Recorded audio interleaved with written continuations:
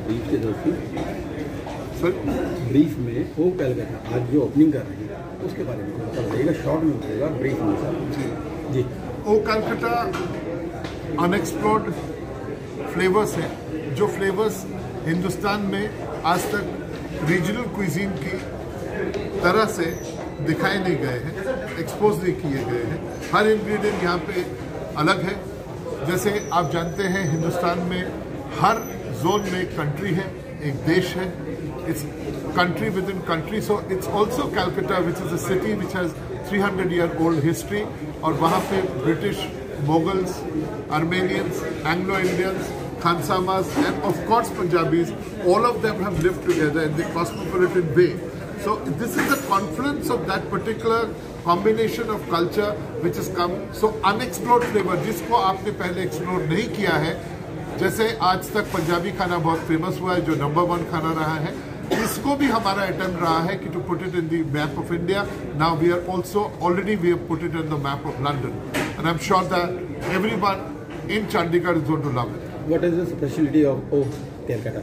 O Calcutta has many specialties starters में एक Calcutta fish fry है प्रॉन कटलेट है क्लब कटलेट है chicken cutlet then you have fish roll and then we get into the areas of you know um, uh, kosha mangsho which is the bhuna gosht uh, of and then puri के साथ जाता है वो combination हींग आलूदम then we have one uh, we call it the kacha lonka means green chili का एक chicken बनता है very unique very spicy and then you have malai curry which is in the form of you know malaya form that culture which came in in the sense that it is like a thai curry it is with prawn so it's one of the world famous curries then you have things which are coming in in the form of the punjabi influence the dhaba dal the grand trunk chicken so इस तरह से हमारा पूरा एक और मिठाई तो है यहाँ मिष्टी दोई और साथ में bhapa sandesh in the form of the nolen gur which is the date palm jaggery Please brief the masalas also. the, the masalas come in all the all the masalas are from authentically coming in from Calcutta and the fish hilsa I forgot which is the queen of fish is also presented here boneless and the masalas are in the form of a five spice which is a पाँच फोरन पाँच उसमें मसाले spices रहते हैं उसका combination है then you have amada which is a mango ginger very unique to Calcutta. Then you have the Shahi Garam Masala, which is again a different kind of a Garam Masala, which is away from the north one. And then you have a bitter sweet area, which is called the Kashundi.